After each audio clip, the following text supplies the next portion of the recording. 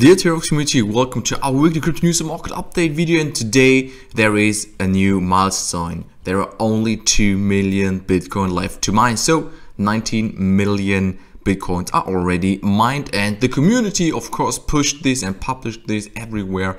And that now there will be a new age of mining.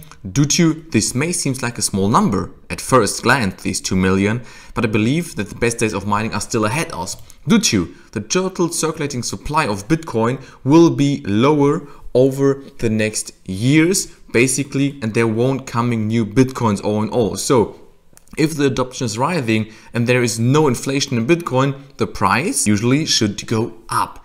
And there are the same costs of mining Bitcoin for electricity, but it's harder to mine. So the price per Bitcoin is going up as well. So people should be paying more for a Bitcoin in theory. Let's see what will happen but here you can see what all the halvings are doing with the bitcoin the last bitcoin will be mined around 2140 so none of us will uh, be live on this event this is showing that there is a long-term vision for Bitcoin and the industry. Opera integrates Bitcoin, Solana, Polygon and five other blockchain with the new browser, the crypto browser. With Polygon in a partnership, they did a wallet and browser and everything you need for this crypto adoption. And now they want to be a big player in Web3 and in digital assets.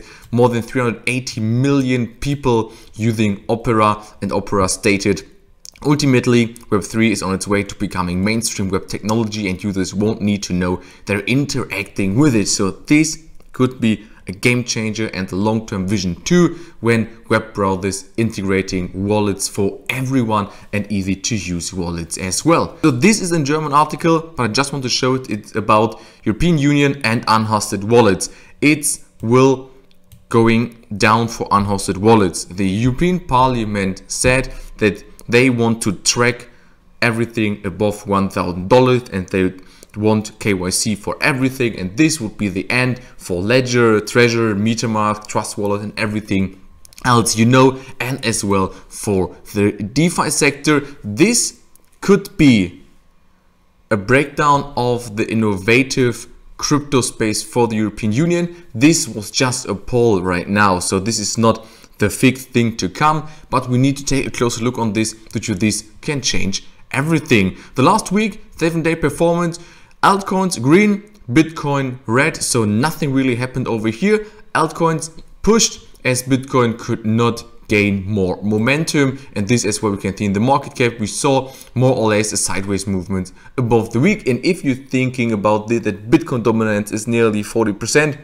it's clear that if Bitcoin is going down and we're having a slight uptrend in the market cap, that the altcoins performed quite good. Taking a look on Bitcoin, I just put everything we need to know inside over here. So basically, we built a resistance at 48k. We touched it multiple times, always got rejected. Now, quite interesting, in these rejections, we never ever saw huge sell-offs. So there was a support building at around 46,800. At the European Parliament had this poll voting, the market went down nearly 7%.